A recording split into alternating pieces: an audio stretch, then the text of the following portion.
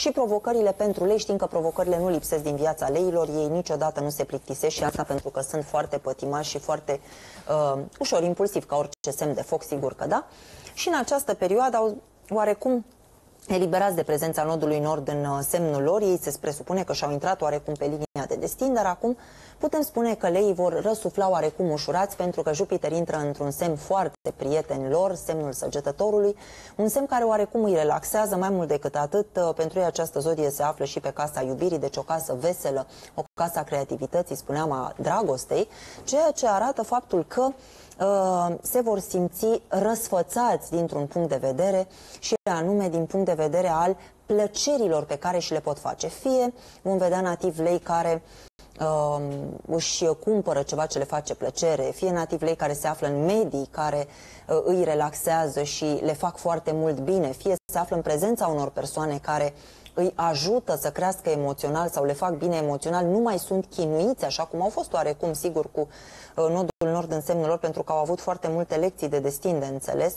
Uh, vin între ei tot felul de situații care îi relaxează și care îi fac să se simtă în sfârșit uh, oarecum relaxați. Nu trebuie să pierdem din vedere faptul că Saturn și Pluton rămân în casa muncii, deci se sacrifică cel puțin din punct al muncii, leii sunt supuși unor munci destul de grele, adică se sacrifică pentru alții, muncesc, fac muncă, pot face chiar muncă fizică sau mm, o muncă sau voluntară, voluntară sau... sau uh, muncă-muncă, în adevăratul sens al cuvântului. Poate să spunem un nativ leu care profesor, este profesor universitar în această perioadă are în destin să, nu știu, să muncească, să îngrijească anumite persoane în vârstă sau să muncească, să facă curat uh, undeva sau să uh, fie pe post de persoană de sacrificiu într-o anumită situație.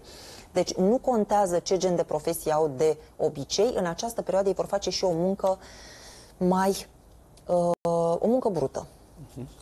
Muncă de jos. De jos. Saturn în, în casa 6 arată mun munci de jos. nu neapărat acum să spele vase, dar oricum o muncă mult sub nivelul muncii la care sunt predispuși din naștere. Uh, în sprijinul acestui uh, uh, respiro astral pe care îl aminteai, vine și um, plecarea lui uh, Marte din uh, semnul din relațiilor, opus. din semnul opus.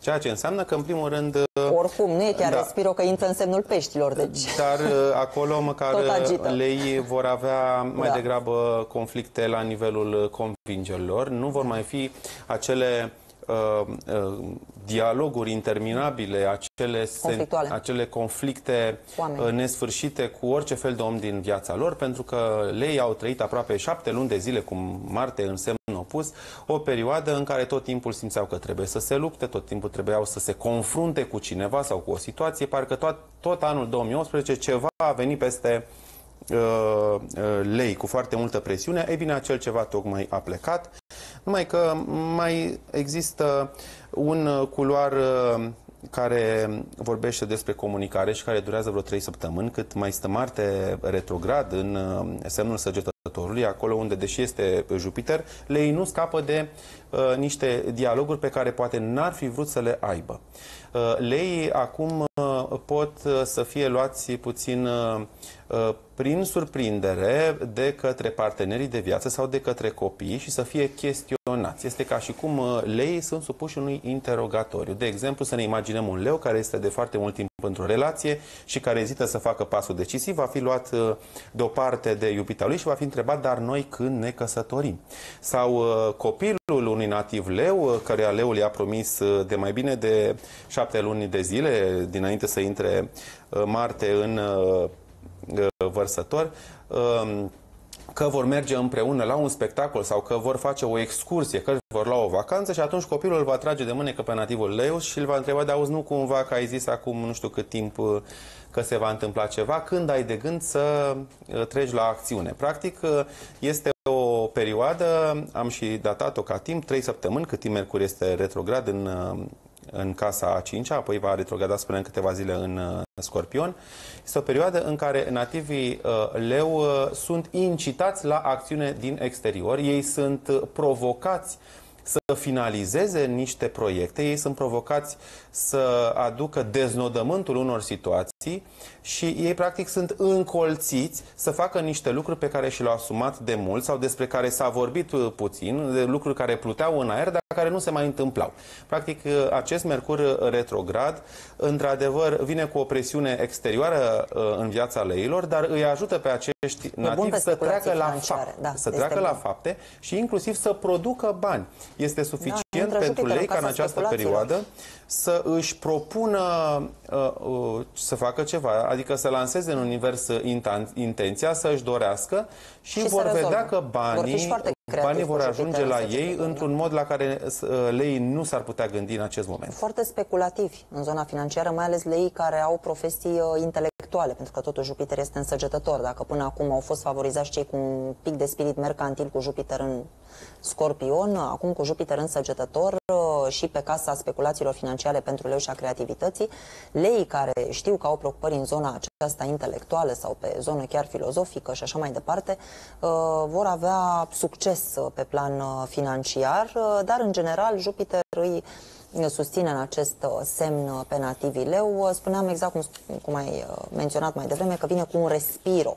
Se simt și mai uh, optimiști, uh, vom vedea lei care vor călători, face călătorii care îi vor uh, dinamiza, îi vor energiza, lei vor avea oricum toată lumea avea, avea mult mai multă poftă de călătorii cu Jupiter, care este planeta călătorilor lungi în domiciliu, dar pentru lei, fiind și pe casa creativității și a distracțiilor, vom vedea că vor simți brusc nevoia să călătorească, dar călătorii pentru distracții sau în uh, scop uh, Uh, într-un scop uh, pedagogic, tutorial. Deci fie să învețe pe altceva, fie să fie da. Învățați ceva, să învețe ceva. Uh, pedagogic, exact. Continuând cu Saturn și cu Pluton în casa sacrificiului, spuneam, în continuare vor munci pentru alții și se vor pune în slujba altora și cu Uranus care intră în, reintră în semnul Taurului într-o casă în care fluctuațiile socioprofesionale nu trebuie să-i uh, devitalizeze și nici să-i uh, perturbe. Mergem mai departe să vedem pentru nativii fecioară cam uh, ce gen de provocare aduce această lună plină în semnul gemelor, tot un semn mercurian. Este um, un impact foarte puternic săptămâna aceasta pe axa de autoritate în viața fecioarelor, care se întreabă acum cine este cel mai important om din viața mea, cărei persoane îi acord mai multă importanță decât ar fi cazul sau decât îi se cuvine, cui îi dau mai mult decât are nevoie, uh, unde sau anume, mai merită. sau mai mult decât merită, practic este o săptămână în care fecioarele se recalibrează. Uh, luna plină în casa a 10 pentru ele uh, le ajută pe fecioare să aibă, să poarte discuții foarte eficiente la nivel înalt. Este o săptămână în care fecioarele pot să Uh, negocieze uh, o înțelegere importantă cu șeful, pot să ceară un concediu, pot să ceară niște drepturi salariale. Uh, fecioarele sunt săptămâna aceasta avantajate din poziția de foarte fini și eficienți negociatori. Pot să fie sindicaliștii care reprezintă foarte bine da, grupul din care fac parte, numai că toată tensiunea vine pe segmentul familiei, familiei, al casei, al uh, trecutului, pe casa patra a săgetătorului, unde uh, fecioarele se confruntă cu niște situații de care credeau că au scăpat. Ei bine, n-au scăpat. Dacă credeau că o persoană care i-a hărțuit în trecut a dispărut definitiv, iată că acea persoană apare. Dacă credeau că un, o membru, da, un care... membru al familiei care uh, a primit un în trecut un diagnostic care a fost urmat de o vindecare și uh, fecioarele credeau că toată situația s-a terminat, e bine, s-ar putea să apară din nou același diagnostic, adică să fie vorba despre o, o boală a cuiva din familie care recidivează. De asemenea, s-ar putea să fie vorba despre un viciu pe care alt membru al familiei îl reia după un timp. Practic, uh, fecioarele uh, s-ar putea să aibă impresia că se întorc în timp. Este ca un fel de călătorie, e o mașină a timpului da, uh, săptămâna aceasta mișcă, pentru da. nativii fecioară și um, practic de ce li se dă această, acest cular astral? Pentru că fecioarele trebuie să reconsidere anumite atitudini din trecut, adică trebuie să retrească anumite situații pe care să le judece de la o înălțime mult mai mare și trebuie să găsească acum soluții mult mai creative la niște probleme foarte vechi. Dacă în trecut fecioarele au rezolvat doar într-un anume mod uh, repetitiv uh, aceeași problemă, acum este timpul și cu Uranus în grad anaretic ca nativii uh, născuți în această zodie să găsească idei creative sau chiar să se bazeze pe alții, pentru că, să nu uităm, planetele din pești sunt în semn opus, ceea ce înseamnă că persoanele din viața fecioarelor, soțul, asociatul, client, clienții, au foarte multă greutate. De aceea este o săptămână în care e important pentru nativii fecioare să nu ia decizii de capul lor, ci să se consulte, să delege uh, foarte multe sarcini în mâinile specialiștilor, să meargă la medic, să meargă să consulte o persoană abilitată din punct de vedere juridic. Uh, așadar, să nu comită imprudențe și să nu se bazeze excesiv pe propria persoană, mai ales acolo unde nu sunt stăpân pe situație. Fecioarele este bine să, uh, să se concentreze uh, nu pe Uh, soluție neapărat, pentru că de foarte multe ori soluția nu este de competența lor, ci pe uh, relațiile corecte cu oamenii care pot să-i ajute. Așa este, în altă ordine de idei, uh, vorbeam despre Jupiter intrat acum în uh, săgetător, pentru fecioare, un noroc legat de casa, domiciliul lor sau o casă care lor le va atrage atenția sau de un sediu pe care doresc să și-l facă. Deci, practic, vor beneficia de șansa de a avea o creștere legat de planul domestic, de căminul, casa în care locuiesc, fie și o înfrumusețează, fie și se extinde, fie vor avea uh, posibilitatea să locuiască într-o casă mult mai frumoasă.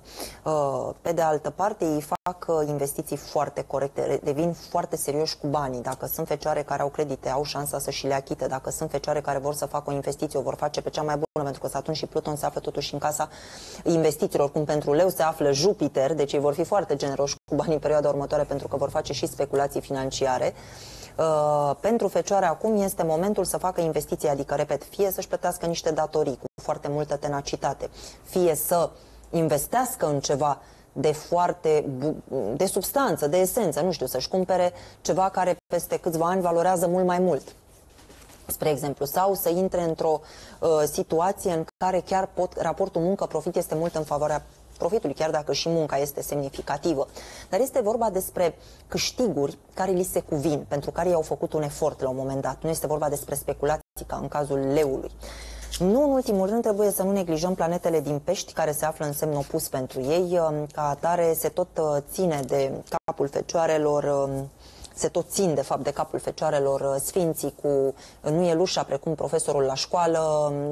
Nu știu dacă neapărat să-i pună la colț, dar oricum uh, să-i treacă din prima bancă în ultima dacă nu sunt cuminți sau dacă nu au învățat cum trebuie și vor fi ascultați în fiecare zi dacă au învățat cum trebuie și din toată materia. Deci Marte, Neptun, Luna astăzi, dar nu decât astăzi uh, și puțin Chiron. mâine, Chiron, iarăși Chiron și pe grada anaretic, arată faptul hmm. că ei, practic, săracii nici nu săraci. Sigur că da, este o lecție. Până la urmă nu pot să-și tragă sufletul pentru că cineva tot îi verifică de sus dacă au Sunt înțeles. la tablă ca la școală. Non-stop. Deci non-stop se simt supervizați și dacă au spus o minciunică și dacă au uh, neglijat pe cineva și dacă au fost incorrect și dacă n-au făcut cum trebuie, dacă n-au abordat corect ceva uh, sau dacă au pus greșit o problemă sau dacă au nedreptățit sau dacă au etichetat sau dacă au mm, fost, uh, nu știu, poate, nu știu, au făcut o greșeală în raport cu cineva sau în raport direct cu Universul sau chiar în raport cu propriul lor suflet, Universul îi va penaliza, dar în așa fel încât vor înțelege exact pe loc că au uh, făcut acea greșeală. De câte ori un nativ fecioară va vedea că nu se simte bine, este afectat pe sănătate, că nu are o pierdere financiară, că cineva uh, a ieșit la război în fața lui, că uh, a pierdut ceva, să știe că Universul vrea să îi tragă de urechi sau de mânecă, să le explice că ceva nu este în regulă. Este una dintre zodia uh, deci fecioarele uh, fac parte dintre acele zodii care sunt foarte supervizate de către uh, de către univers până la urmă. Revenim după publicitate cu o concluzie pentru fecioare. Am revenit. Uh, o concluzie pentru nativii fecioară este o perioadă în care aceștia trebuie să elimine din viața lor uh, tot ceea ce este înșelător sau nepractic. Deci, până la urmă, tot ceea ce nu vine într-o formulă în care pot poate aduce beneficii concrete sau poate fi ceva constructiv. Deci tot ceea ce este neproductiv, nepractic trebuie eliminat și tot ceea ce nu vorbește despre un adevăr, despre ceva autentic. Este ca și când un nativ fecioară uh, crede în cai vers pe pereți uh, și se miră că este tulburat, sufletește și așa mai departe. Deci lucrurile trebuie uh, catalogate, pentru că tot le place fecioarelor să catalogheze și să eticheteze, lucrurile trebuie catalogate, dar puse în catalogul corect. Adică orice experiență, orice persoană, orice situație trebuie uh, etichetată, pentru că da, chiar li se permite să eticheteze, dar să le eticheteze corect. Balanțele? Mergem mai departe să vedem pentru balanțe luna plină în gemeni. Ce ar putea însemna? Uh, eu zic că balanțele merită un premiu și e, eu aș zice că e bine să-și facă un tort de șase săptămâni, pentru că atâta timp a stat uh, Venus uh, în mers retrograd în semnul lor, tocmai s-au eliberat. Venus este acum staționară și va reintra în mers direct pe ultimele grade din zodia lor, ceea ce înseamnă că nativii balanță, în primul rând, vor simți vizibil o creștere a stării de vitalitate. În ultimele săptămâni, foarte multe balanțe au suferit o felul de afecțiuni uh, medicale, au suferit de întoarcerea unor uh, uh, boli cu care s-au mai confruntat în trecut. În orice caz, imunitatea nativilor balanță a fost destul de deficitară. Acum, dintr-o dată, nativii balanță se bucură plenar de viața lor, reușesc să uh, înțeleagă uh, inclusiv sensul uh, uh, acelor uh, afecțiuni medicale pentru că își dau seama că a existat uh, un mesaj pe care Universul l-a trimis. Este o perioadă uh, la sfârșitul lunii noiembrie plină de haideți să le spunem, decodificări, adică nativii balanță pe această axă a caselor 3-9 activă, pe planetele din săgetător, uh, care se opun lunii pline din data de 23 noiembrie, reușesc să găsească sensul foarte multor situații care până acum au fost inexplicabile. Balanțele reușesc acum să stea de vorbă cu cineva care uh, le ajută să uh, primească un pont.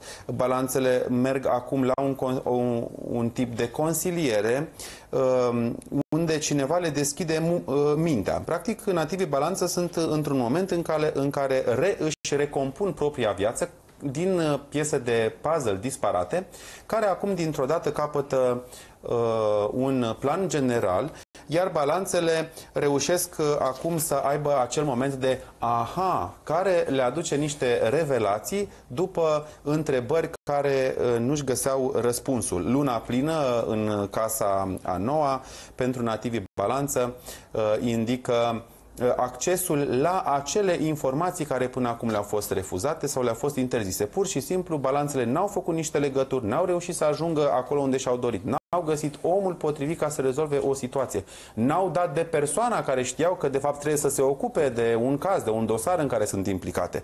Acum, dintr-o dată, cad barierele, balanțele reușesc să se repună pe, o, pe un drum uh, pe care uh, obțin și ceea ce își doresc. Este un moment de reabilitare a dorințelor uh, balanțelor, care la fel au, uh, au suferit uh, în ultimele săptămâni de o opoziție, de o rezistență, pe care parcă tot timpul voiau să facă ceva și nimerau în altă parte. Viața balanțelor, începând din această săptămână, nu, mai, nu se mai întâmplă prin ricoșeu. Balanțele reușesc și ele să țină drumul drept, nu să meargă tot în zigzag sau șerpuit, șerpuit cum a făcut-o în ultima vreme și aș mai dori să punctez această uh, casă foarte încărcată care este a șasea cu planetele din Pești, inclusiv cu luna astăzi. Marte a intrat în Pești, acolo uh, îi găsește pe Neptun și pe Chiron, ceea ce pentru nativii uh, balanță reprezintă uh, un prilej de resuscitare profesională. Balanțele vor fi foarte active, dintr-o dată se simt pline de energie și iau pe ceilalți pe sus. Uh, balanțele își recapătă rolul de motor în echipă, Uh, îi mobilizează pe alții, îi motivează, parcă își revin. Este ca și cum în nativii balanță ies dintr-o comă prelungă sau dintr-o anestezie, se trezesc la viață și se comportă uh, ca și cum nimic nu s-ar fi întâmplat și uh, privesc din nou tot înainte. Așa este, bă, oricum tot, am tot spus lucrul acesta, faptul că ei se găsesc într-o perioadă în care trebuie să lupte foarte mult pentru tot ceea ce au, orice lucru câștigat este câștigat cu trudă, pentru că Pluto și Saturn se află într-un semn cuadrat, însă acum îi ajută destul de mult intrarea lui Jupiter și prezența lui Mercur, chiar dacă în exil și retrograd în semn prieten, în semnul săgetătorului, un semn cu care balanțele se află pe aspect de sextil s-ar putea să existe și foarte multe activități care balanțelor le priesc, le fac plăcere, foarte bună perioada pentru o comunicare lină, o comunicare plăcută, se găsesc în prezența unor persoane cu care împărtășesc același tip de idei sau cu care uh, practic au cam același profil intelectual. Vom vedea foarte multe balanțe care uh, sunt fericite pentru că le sunt înțelese și agreate ideile, pentru că Chiar sunt, dacă Mercur este retrograd. Chiar dacă Mercur este retrograd, da, dar Găsesc este oameni care vorbesc pe limba lor. Aceeași balanțele. limbă, exact. Și din punct de vedere relațional sunt foarte uh, favorizați. Persistă, sigur că da, situațiile antagonice din care iau ceva de înțeles, ei trebuie să lupte pentru orice. Spre exemplu, un nativ balanță care nu este obișnuit, nu este mulțumit, uh, mă scuzați, cu casa în care locuiește. Acum va face un efort foarte mare să obțină o casă. Fie o va recondiționa, fie o va vinde și va câștiga, alt, va cumpăra altă casă. În orice caz, va lupta. Dacă un nativ balanță are un loc de muncă, nu se va mai simți compatibil cu acel loc de muncă și s-ar putea să trebuiască să se gândească la o altă variantă. Nu toate, la un loc, dar fiecare nativ balanță are o provocare.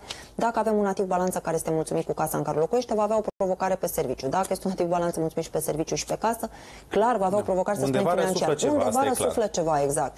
Acest Pluto și acest Saturn karmice, atât pe Capricorn, ca și pe nativii balanță, dar și pe berbeci, deci cu, și cu zodiile quadrate, dar și cu zodia în care se află și cu racul. Am tot spus că racii sunt puși în situații care nu le convin și se tot revoltă. Deci sunt patru zodii care au un soi de revoltă, Capricornii, Racii, Berbecii și Balanțele. Deci semnele sunt cardinale. semnele cardinale, acum fiind agresate direct de Pluto și Saturn. Deci, iată, Balanțele practic tot luptă într-un domeniu cu ceva ce nu este oricum ar fi, oricum știm că sunt mai comozi cu tabieturi și cu un soi de delicatețe în ceea ce armonie, lor le place armonia. E, acum armonia Ca să nu aceasta... comoditate. Ia să nu spunem comoditatea și, da, uh, au această vulnerabilitate. Acum trebuie să lupte pentru ceva ce ei consideră că ar trebui să vină de la sine. Sunt lucruri care pentru nativii balanță ar trebui să vină în firescul lor. Și iată că nu vin trebuie să lupte mai, uh, mai mult decât uh, trebuie pentru acele uh, lucruri. Tot în această perioadă, Uh, foarte frumos să vorbeam despre această zonă a contractelor, a promisiunilor, a actelor scrise, a uh, întâlnirilor uh, cu uh, oameni uh, cu care pot lega parteneriate din acestea cotidiene.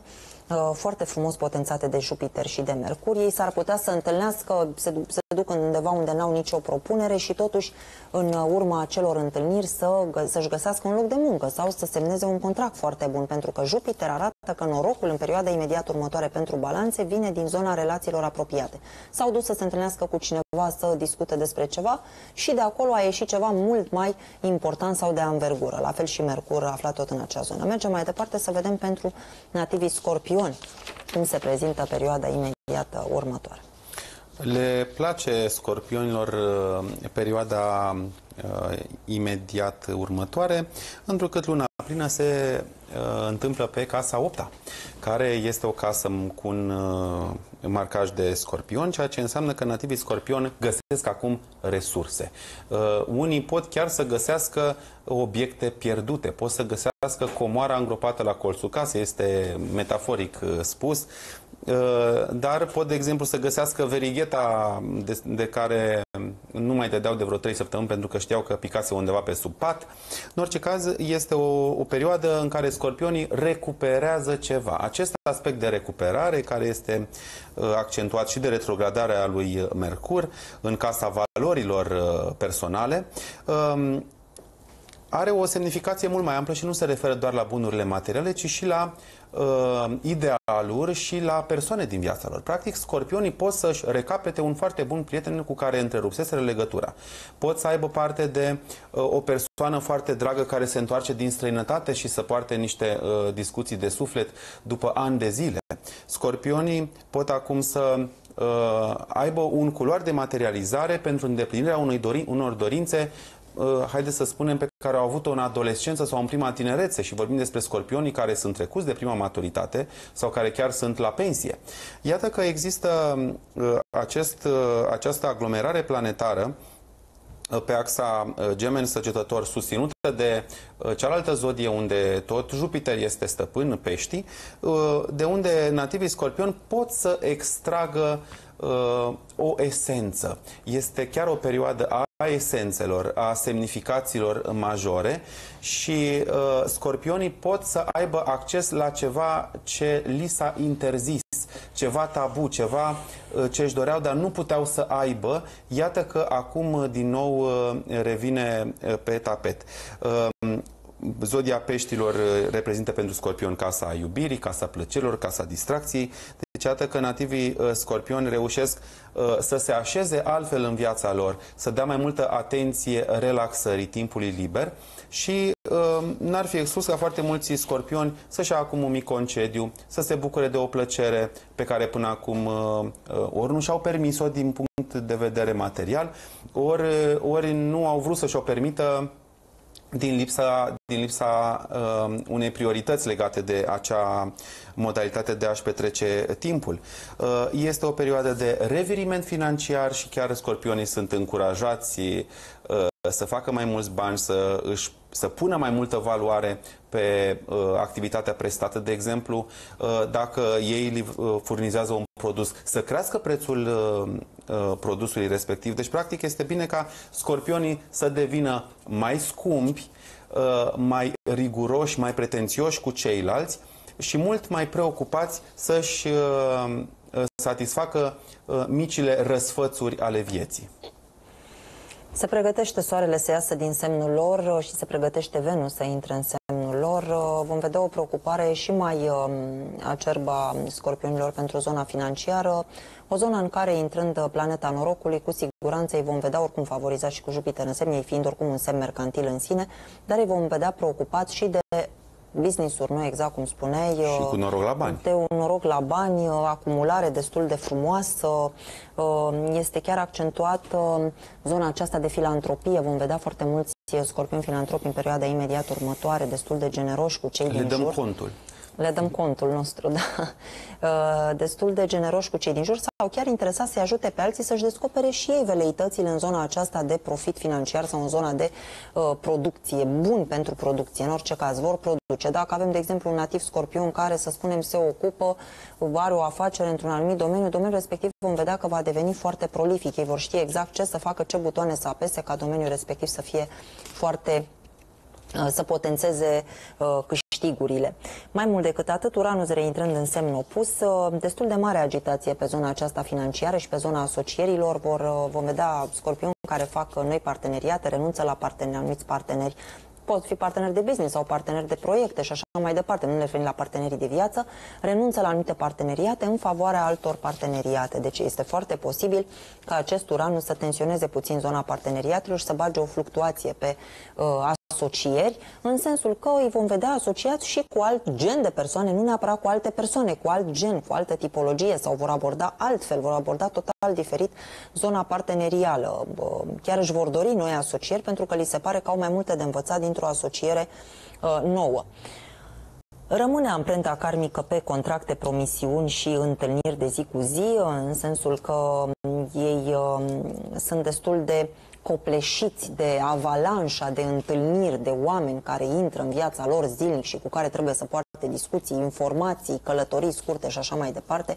Multe contracte, mult mai ales pentru scorpionii care oricum au de-a face cu zona contractuală, în această perioadă vor încheia multe, foarte multe contracte și se vor întâlni cu foarte multe persoane și nu este deloc de ignorat faptul că vor face speculații financiare într-un mod în care vine acest Marte cu o ușoară tentă agresivă, deci s-ar putea să aibă o uh, mică uh, zonă de agresivitate uh, săptămânile următoare, lunile următoare, de fapt, în zona aceasta a uh, relației cu persoane cu care au avut ceva de împărțit în ultima vreme.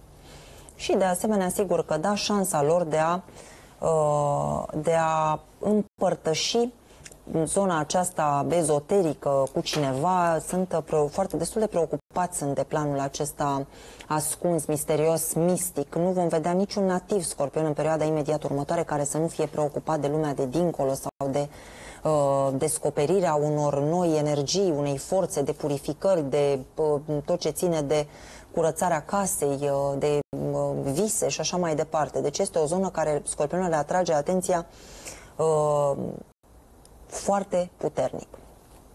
Să mergem acum mai departe la fericiții zodiacului